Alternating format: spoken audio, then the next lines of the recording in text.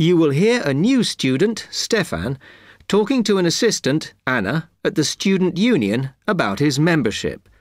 You now have 30 seconds to read questions 1 to 6.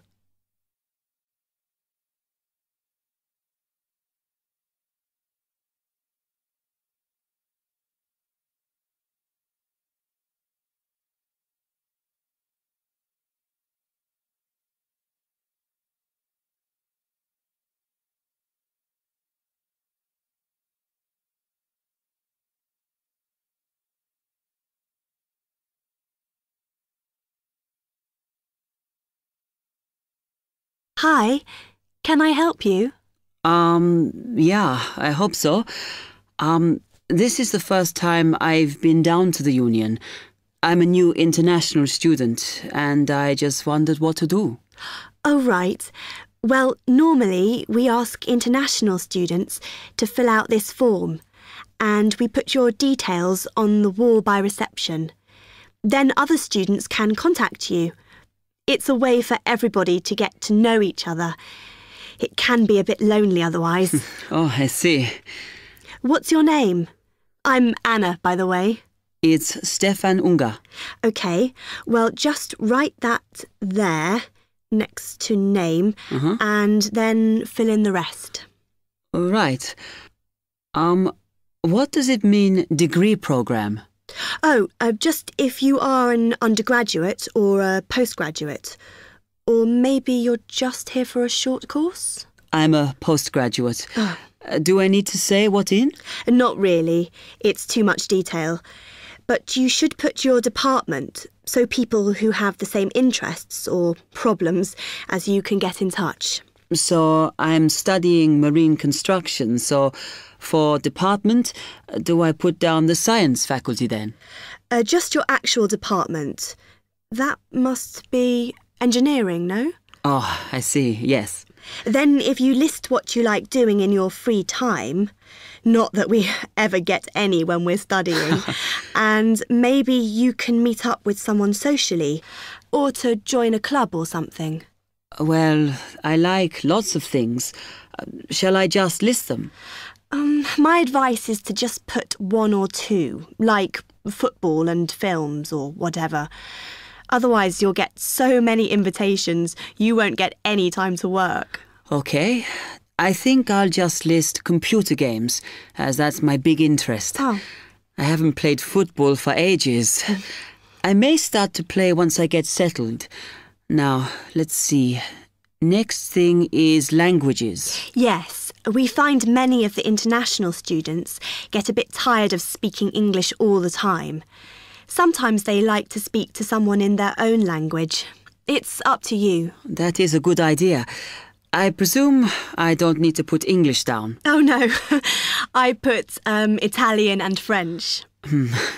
I can only speak German, my mother tongue. OK, well, that's fine. Just put that. Uh, what does accommodation mean? Is that my address? We're trying to find similarities between people, and some people live in hall, some are in flats, some are in bedsits. So it helps if you say. I'm in hall, though I'd like to be in a flat, but that won't happen till the end of the first term. Put where you are now. You can always change it later. Uh, then finally, just put your phone number. I haven't really got one. I haven't sorted out a mobile yet. Well, it's going to be difficult for people to contact you then, isn't it? Why don't you put the union one and we'll take messages for you? Okay? It's 02950 659 003. Have you got that? Uh, yes. OK then. You now have 30 seconds to read questions 7 to 10.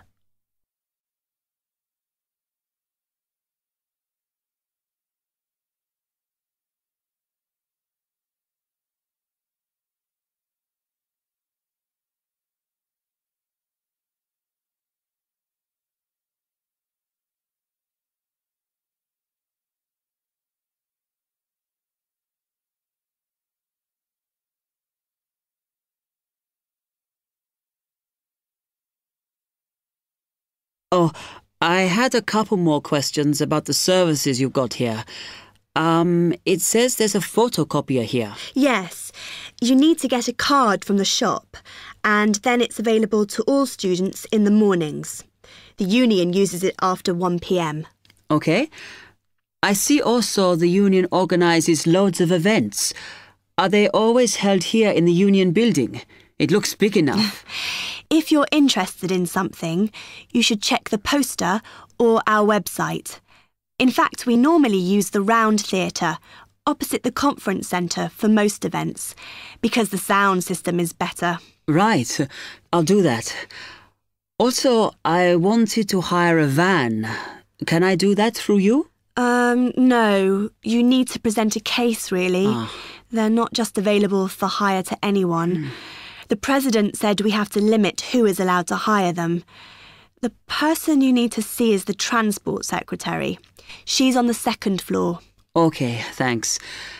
The other thing is, are all the discounts we get with our union card listed on the back of the card? I thought there might be more. No, that's it, I'm afraid. Mainly books, clothes, and music. Though we are currently negotiating to get one on newspapers, so that should be valid from next term. Okay, thanks a lot for your help.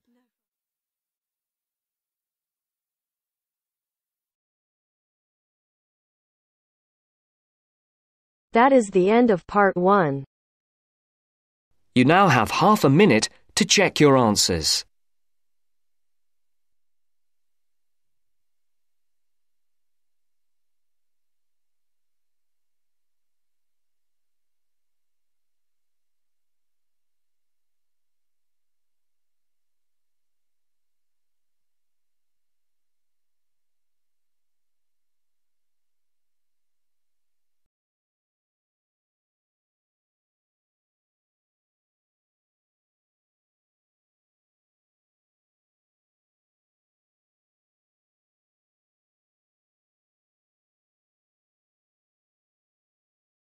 Now turns to part two. you will hear a man giving some information about transport in London. You now have 30 seconds to read questions 11 to 15.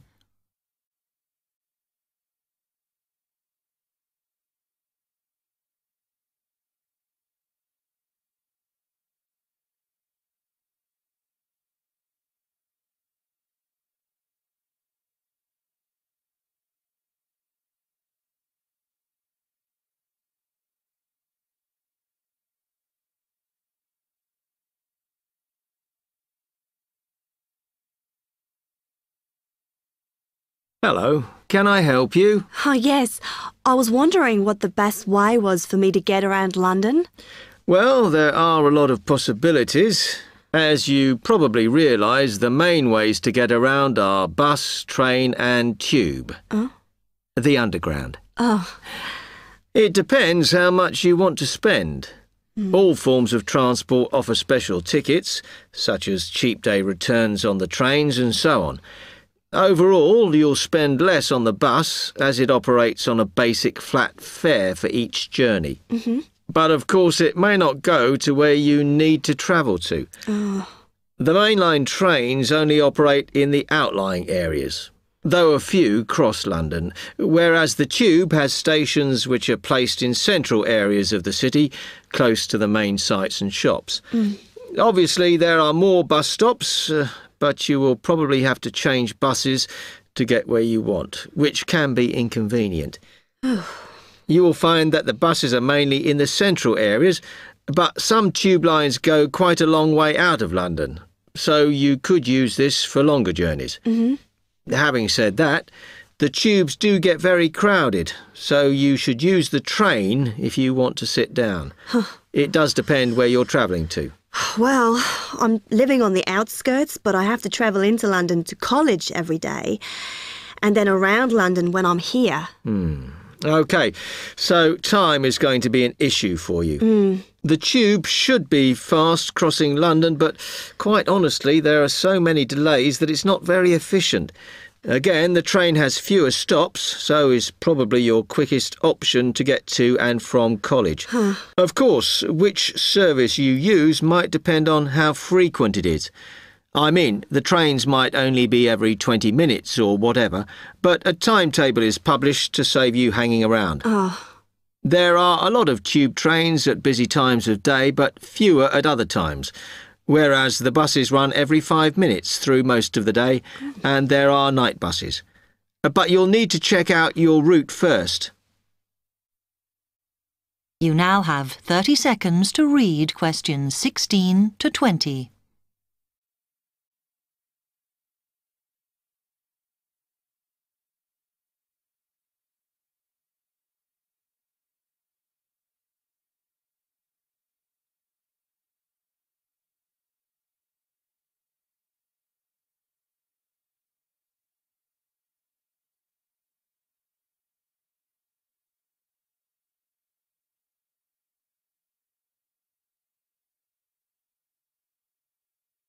Okay, thanks. How can I get from here to Hackney then? Right, well, you can choose. Uh, we're here at the information office, OK? Uh, now, next to us, on the corner of the High Street and Sweet Street, is the bus stop, opposite the bank. Uh huh. The bus goes all the way to Hackney, but it is a very indirect route, so it could take ages. Oh, If you want to take the train, walk down the High Street towards the city, go past the bank, and on your left is the station, just mm-hmm. before you get to the post office. There's a mainline service to Hackney Wick, so if you need to get into the centre of Hackney, you may need to pick up a bus when you get there. Hmm. Opposite the post office, on the corner of Hart Lane, is the tube entrance. You'll see the big signs.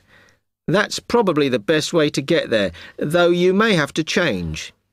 It's probably best if you go and get a travel card first. oh. To get to the ticket office, you go out of here onto the High Street. Then turn into South Street, and the ticket office is on your right opposite the cinema. Mm. Of course, you may decide it's quicker to take a taxi. but it's a long way, so uh, I think it'll be very expensive. If you do want to get a cab, then the rank is outside here, just opposite the office.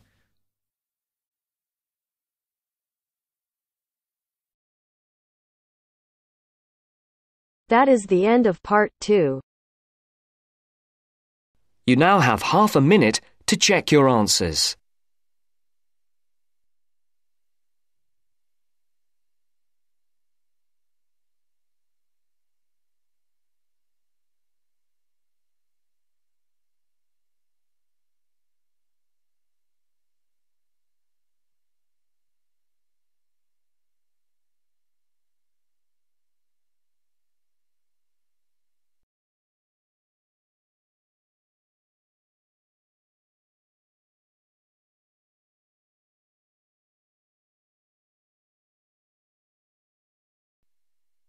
Now turns to part 3. Part 3. You are going to listen to a conversation between a tutor and two students. In the first part of the discussion, they talk about a fellow student. First, look at questions 21 to 23.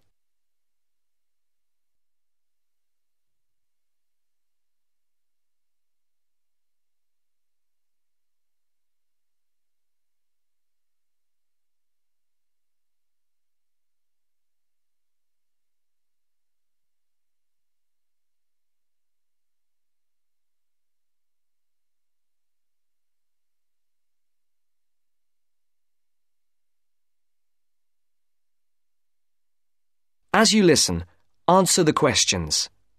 Write no more than two words for each answer. Ah, Francis and Steve. Hi. Now, before we start the tutorial, am I right in thinking that you haven't heard about Lorraine? No. What about her? Um, she's already left. What? Well, she hasn't told anyone. You sound surprised. Weren't you half expecting it? yes, but she could at least have told us, though. We've been on the course together for the past three years, and it would have been nice to know. She always was the sort to keep herself to herself. Yes, I know what you mean. Did she give any reason? Well, she got that job. What? Yes, and she's been given permission to leave, as there's only a week to go before the end of the course. But she'll be back for the exam week. Oh well, we'll just have to catch her on the mobile after the class. She's gone back to Wales first. Oh dear. We'll get hold of her on the mobile. She did say that it might not be possible to contact her for a couple of weeks. Oh, okay. If that is what she wants. Before the conversation continues, look at questions 24 to 30.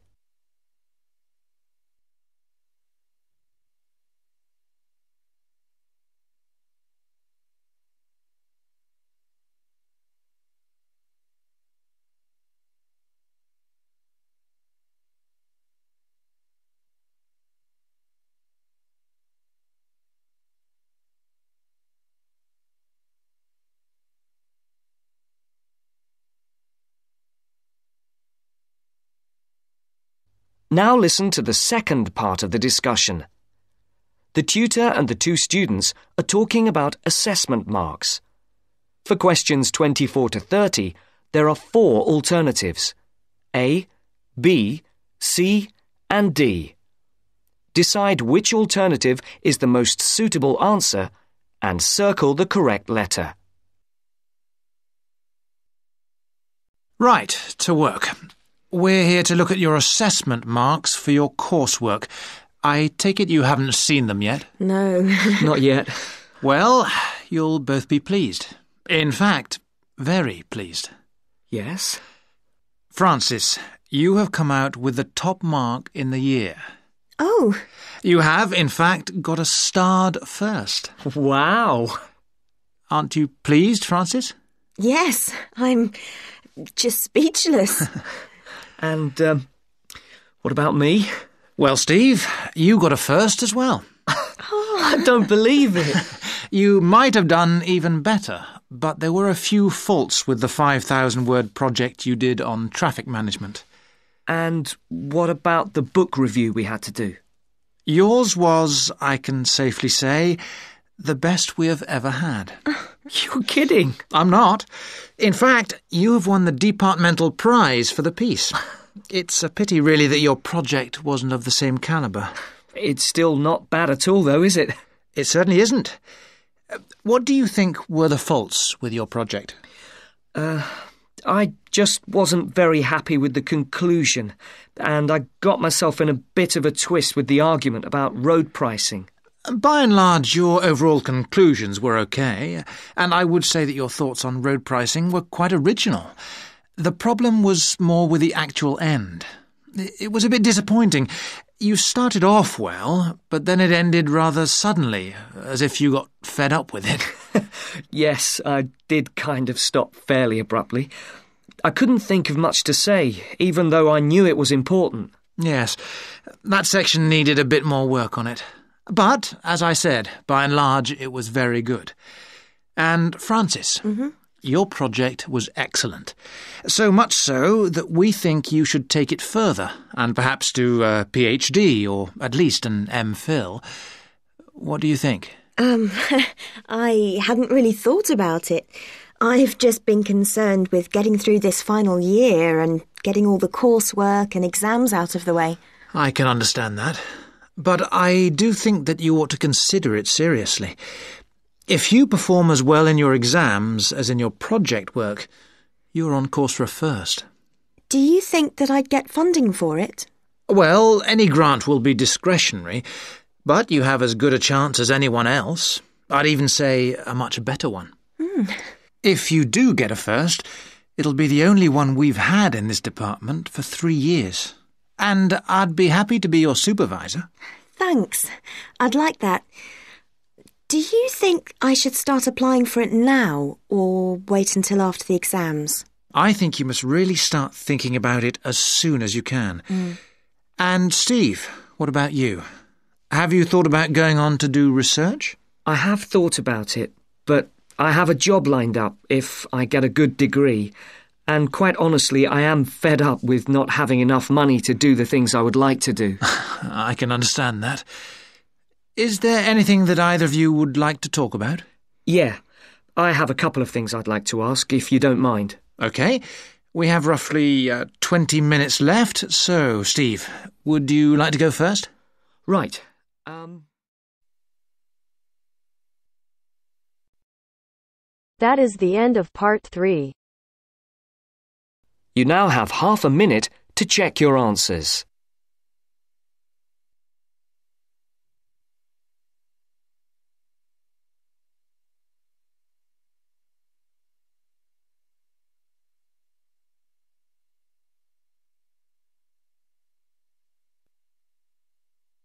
Now turns to part four. Part 4. You will hear a lecturer talking about the importance of laughter. First, you have some time to look at questions 31 to 40 on page 131.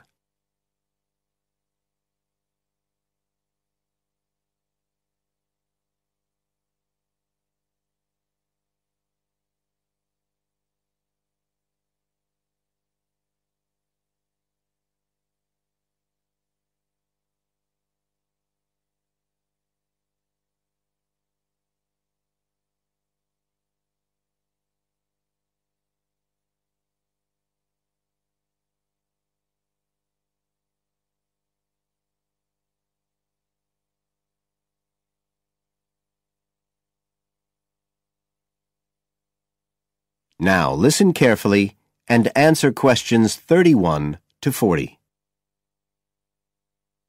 Good afternoon, everybody. And in our second talk on social psychology, I want to look at the role of laughter in our lives, something that usually gets everyone smiling from the start. So, first of all, I'll start by looking at the actual nature of laughter. Well, when someone laughs, you've got movement of the muscles of the face and the chest, and you've got sound formed when the air's forced out of the body as part of this process. So we're talking about a physical activity. But obviously, other things are involved as well. And this is where it gets more complicated. Laughing isn't something that you normally decide to do, so it's not voluntary behaviour like ordinary speech. Instead, it's regulated by our instincts, rather like the singing of a bird or the roaring of a lion. And once you start to laugh, it can be quite hard to stop. That's not always under your conscious control either. But why do we laugh? Because we find something funny, most of us would say. But in fact, it appears that laughter has little to do with jokes or funny stories. Only about 10% of laughter is caused by things like that. One suggestion is that human laughter may have originally started out as a shared response to signal relief at the passing of danger. And it's true that even these days, laughter's rarely an activity carried out by an individual on his or her own. In fact, people are 30 times more likely to laugh when they're with other people than when they're completely alone. Laughter still seems to be a kind of social signal it occurs when people are in a group and they're comfortable with one another. And it seems likely that laughter can result in the creation of bonds between the people in the group. And it's precisely because of this social aspect of laughter that people like public speakers and politicians often try to get their audience to laugh. It encourages their listeners to trust them and to connect with them. But this kind of thing, controlling the laughter of a group that is, indicates that there's a link between laughter and power. And this is supported by several studies that indicate that bosses use humour more than their employees. And research has also shown that female listeners are likely to laugh much more if the speaker is male. So it appears that there are gender issues associated with how much we laugh. I should also point out that laughter can be used as a negative signal as well as a positive one. I think we've all probably seen evidence of a group using laughter to exclude someone, to emphasise that they are not accepted. So it's not always a positive type of behaviour either. So what all this goes to show is that laughter is a very, very complex issue.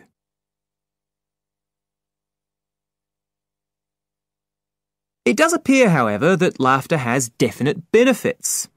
If we look first at the psychological aspects, we know that people often tend to store negative emotions such as anger, sadness, and fear rather than expressing them. And it seems that laughter provides a harmless way for the release of these emotions. But there are also clear physical effects that have been monitored too. For example, laughter is good aerobic exercise. It speeds up heart rate and respiration and raises blood pressure. One researcher suggests that 100 laughs a day is the equivalent of 10 minutes jogging. Laughter also helps prevent the stress that so many people suffer from today, which results from the faster pace of life and all that goes with it. It does this by reducing the levels of hormones in the blood which are caused by stress. And in addition, it is known to increase the levels of chemicals that protect the body from infection or pain and so it helps to boost the immune system.